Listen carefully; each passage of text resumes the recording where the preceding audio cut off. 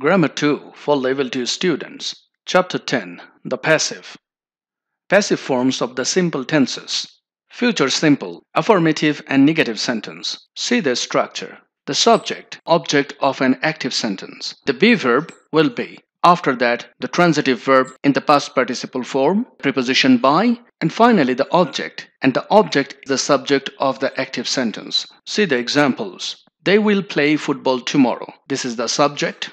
The be verb in the future form, the transitive verb is play, and the object for this verb is football. This is an affirmative sentence. Passive form, the object becomes the subject here, football. The be verb will be in the future simple form. The transitive verb play becomes played, the past participle form. The preposition by and the object, the subject of active sentence. Another example, he will not repair his car next week. This is a negative sentence in the future simple tense. The passive form for this. The object here, his car, it becomes the subject. Be verb will, and to make negative not, will not be. The past participle form of this verb repaired, the preposition by, and the subject of the active sentence becomes the object here. His car will not be repaired by him next week.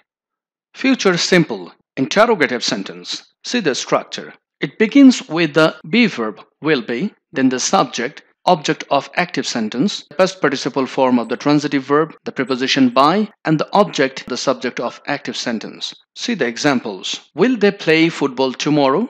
It begins with will as it is an interrogative sentence. Then the subject, the verb play, and football, object of this verb. First, we make this interrogative sentence into a affirmative sentence. They will play football tomorrow. It is now in the affirmative form. We change this active sentence into passive. Football is the object and it becomes the subject. Will be the be verb, past participle form of the verb play by preposition, and the subject of the active sentence become the object here. Football will be played by them tomorrow. The sentence is still in the affirmative form. We will change this into interrogative sentence. Place the be verb before the subject and just it. This way we change this affirmative sentence into interrogative sentence. Will football be played by them tomorrow?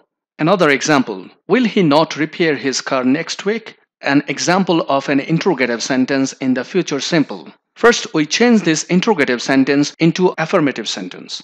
He will not repair his car next week. Here, this is the subject. Transitive verb repair, the object, his car. We change this into a passive sentence. His car, the object becomes the subject.